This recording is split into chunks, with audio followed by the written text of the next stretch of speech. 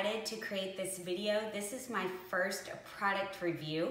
I love Dollar Tree and I'm a glue gun fanatic.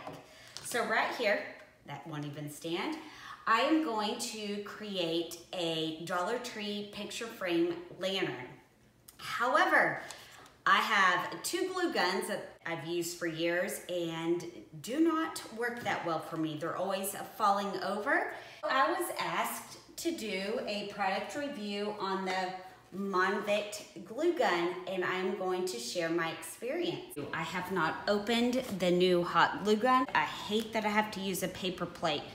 Let's open this and see how it came packaged. I'm gonna slide these to the side.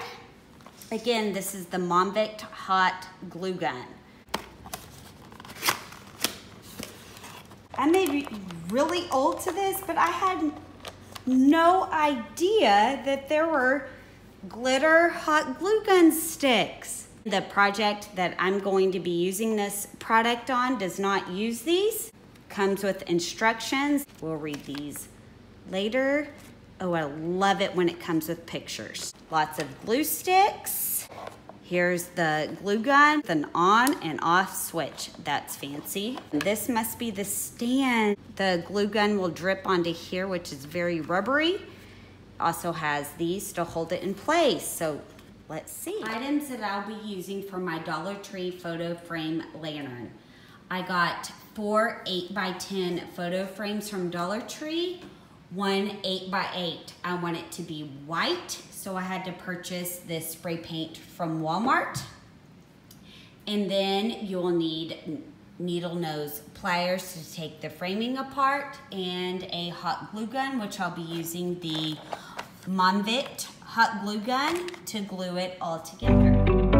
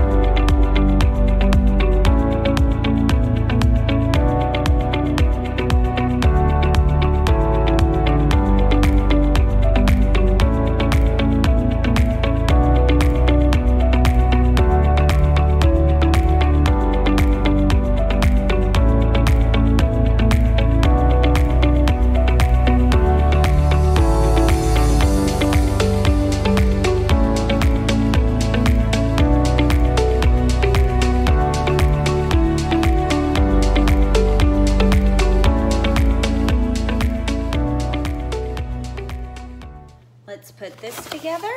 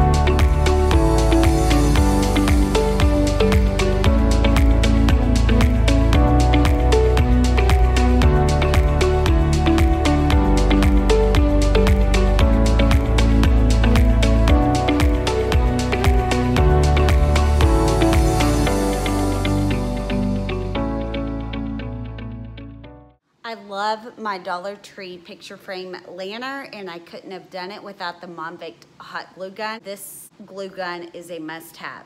If you haven't already, please subscribe and we'll see y'all later.